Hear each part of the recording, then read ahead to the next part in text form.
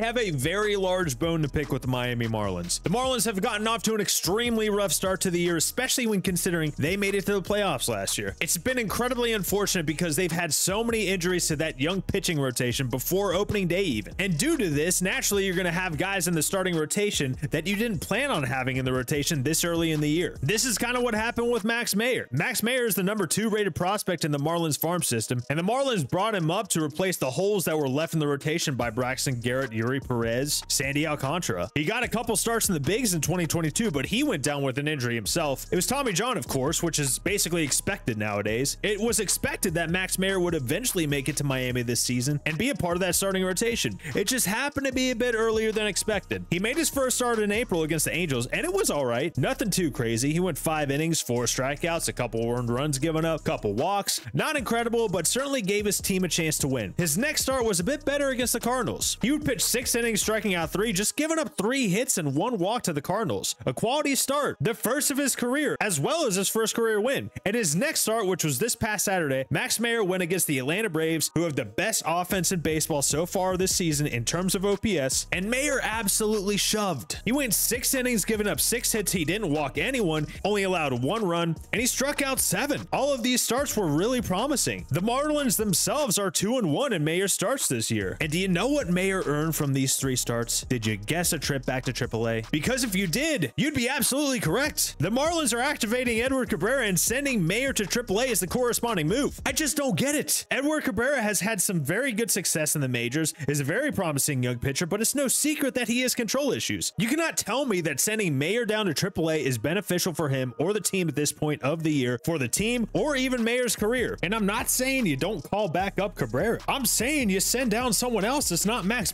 Keep them both. Please tell me your thoughts. Maybe I'm wrong and I'm just not seeing it. If this is not a service time thing, what more do you need to see? He has been the best pitcher on their team thus far, and in fact, he leads the whole team in WAR right now with 0.8. It is clear to me that the Marlins have packed it in. They have given up. And to think of it, they gave up long before this move. They gave up as soon as the offseason started when they wanted to demote Kim Ng, their GM, who had done a fantastic job in getting this Marlins team back to the playoffs. I mean, if I was employed by the Marlins in any fashion, I would be terrified of performing too well because that clearly means an imminent demotion or your outright release. This was also the offseason where they could bring in a ton of bats to supplement the good young pitching that they had, and they did nothing. They brought in Tim Anderson. That's not a significant improvement, maybe not an improvement at all. And yeah, he could bounce back, but that is definitely not something that a team who made it to the playoffs last year should rely on. They lost Jorge Soler, and there was no one else brought in to replace that production. Josh Bell and Jake Burger were nice trade acquisitions at the deadline last year, and Josh Bell played very well for the team down the stretch. But Bell has been very up and down over his career, and I wouldn't feel good about him being your number three hitter on a team trying to get back to the playoffs. Same thing with Jay Burger. He had a fantastic year in 2023, but can he do it again? And I'm not sure we're even going to find out because he, in fact, just went on the IL a couple days ago. People can say it would have been a wash anyway if they spent a lot at the deadline because of all the pitching injuries. But in November, no one knew that Eury Perez was going to need Tommy John in March. No one knew that Braxton Garrett was going to have shoulder impingement in February. We all know that Sandy Alcantara was going to miss the entire year. But a rotation of Jesus Luzardo, Eury Perez, Braxton Garrett, Edward Cabrera, and Max Meyer would be competitive enough to get back to the playoffs